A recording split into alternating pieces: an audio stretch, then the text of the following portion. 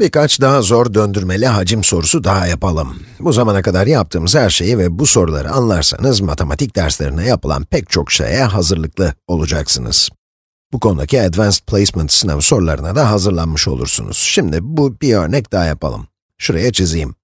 Bu y ekseni, bu da x ekseni. Şimdi y eşittir x kare fonksiyonunu çizelim. Hangi değişkeni tek başına bırakmak istediğimize göre, y eşittir x kare veya x eşittir karekök y diyebiliriz.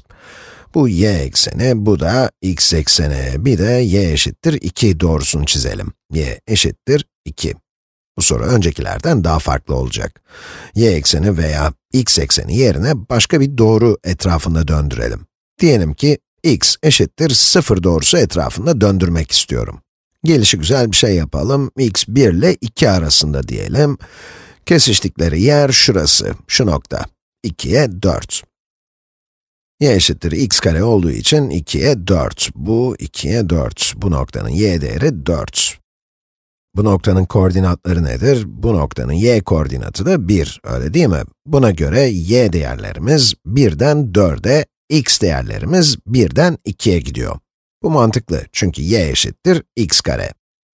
Şimdi size döndüreceğimiz alanı söylediğimde biraz şaşırabilirsiniz. Bu alanı döndüreceğiz, bu alanı. y ekseni yerine x eşittir eksi 2 doğrusu etrafında döndürmek istiyorum. Bu 2 ise x eşittir eksi 2 şuralarda olmalı. Buna göre bu alanı şu doğru etrafında çevireceğim. Peki bu neye benzeyecek? Büyük bir yüzeye benzeyecek. Bunu çizmeye çalışayım. Şimdi bunu çizmek her zamanki gibi yine en zor kısmı işin. Üstten görünüşünü çizmeye çalışayım. Bu iç halka, bir de dış halka olacak. Üstü düz çünkü y eşittir 4 olarak tanımlanmış. İçte de bir düz kenar olacak. Ama sonra dış taraf içe doğru kıvrılacak. Bunu görebildiğinizden emin değilim. Burası dış kısım ve içe doğru kıvrılıyor. Dolayısıyla büyük bir yüzüğe benzeyecek, yüzük. Eksenleri de çizmek istersem bu y, düzeltiyorum, y ekseni bu tarafa daha yakın olacak, y ekseni şurada olacak, x ekseni de bunun altında olacak. Her şeyi, evet, güzel bir şekilde, elimden geldiği kadar iyi bir şekilde çizmeye çalışıyorum. x ekseni de bunun altında. Etrafında döndürdüğümüz doğru da şuralarda bir yerde olacak. Şöyle bir şey. Şuradan girip, buradan çıkacak. Umarım mantıklı geliyordur şu ana kadar. Büyük bir yüzük elde ediyoruz. Peki bu hacmi şimdi nasıl bulacağız? Yapabileceğimiz birkaç şey var.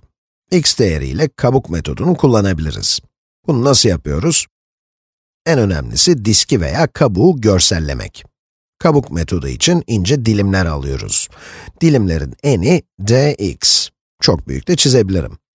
Bu dikdörtgenimiz, bu da dx. Dilimin boyu nedir? Üstteki fonksiyon eksi alttaki fonksiyon olacak.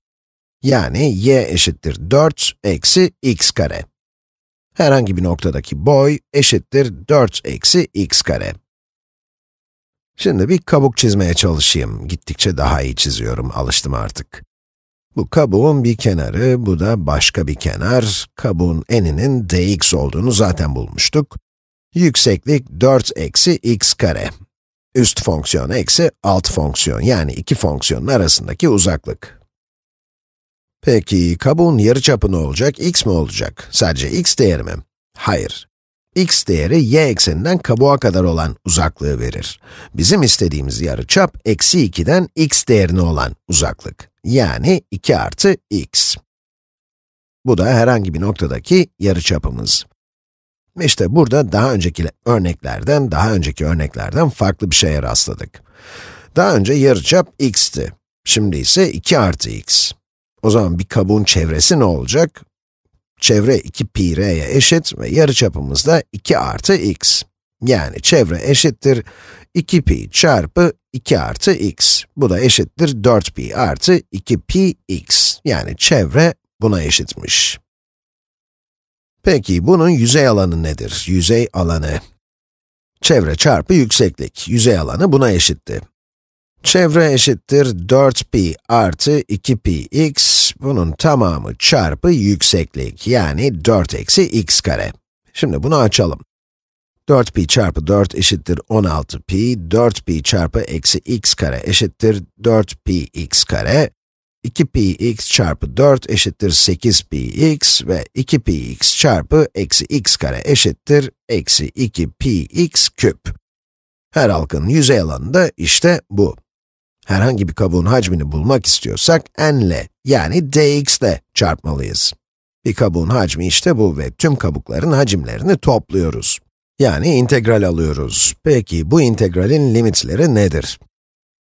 İntegrali x eşittir 1'den x eşittir 2'ye alıyorum. 1'den 2'ye. Şimdi bunun ters türevini alayım. Ters türev alacağız.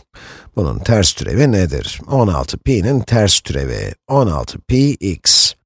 4px karenin ters türevi nedir? x küp bölü 3 olacak. Yani 4pi bölü 3x küp. Burada x kare bölü 2 var. Yani artı 4pi x kare ve eksi x üzeri 4 bölü 4, yani eksi pi bölü 2x üzeri 4. Şimdi değer buluyoruz. Yaptıklarımızı, daha önce yaptıklarımıza kıyasla bayağı zor bir soruymuş. 2 ve 1'deki değerleri buluyoruz. 2'deki değer ne olur? 2'deki değer 32pi eksi 4pi bölü 3 çarpı 8 artı 4pi çarpı 4 eksi pi bölü 2 çarpı 2 üzeri 4 yani eksi 8 pi. Ama şimdi fark ettim ki yine çok uzatmışım. Bir sonraki videoda devam ederiz.